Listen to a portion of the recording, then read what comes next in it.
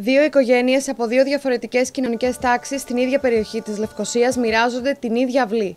Η ζωή τους παίζει περίεργα παιχνίδια και εκείνοι καλούνται να ανταποκριθούν. Ακόμη και όταν χωρίσουν την αυλή και όταν ανάμεσά τους μπουν χιλιάδες χιλιόμετρα, τους ενώνει ένα παιδί και παράλληλα τους χωρίζει.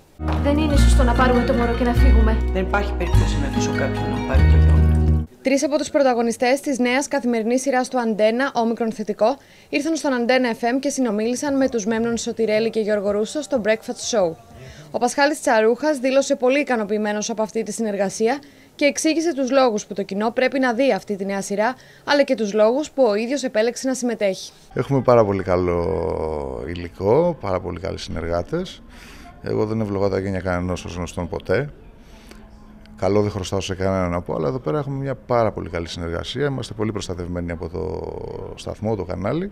Ενθουσιασμένοι με τη συμμετοχή τους σε μια τόσο προσεγμένη σειρά και βέβαιοι για την επιτυχία που θα έχει, δήλωσαν και οι μικρότεροι της παρέας Ελένη Μπουκουβάλα και Σάβας Χαμπέρης. Και οι δύο κάνουν το τηλεοπτικό τους ντεμπούτο με αυτή τη σειρά. Είμαι πάρα πολύ τυχερή ε, και ευχαριστώ πάρα πολύ που με επιλέξανε γιατί κάνω και εγώ το ντεμπούτο μου εδώ στην Κυπριακή τηλεόραση.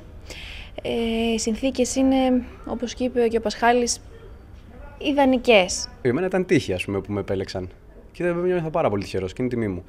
Ε, και θέλω να προσπαθήσω να ανταπεξέλθω στις προσδοκίες τους. Και είναι και πολύ ωραία σειρά οπότε. 27 χρόνια πριν, η ζωή ανάγκασε τους πρωταγωνιστές να πάρουν αποφάσεις. Σήμερα προσπαθούν να κρύψουν τα μυστικά που άρχισαν να φανερώνονται.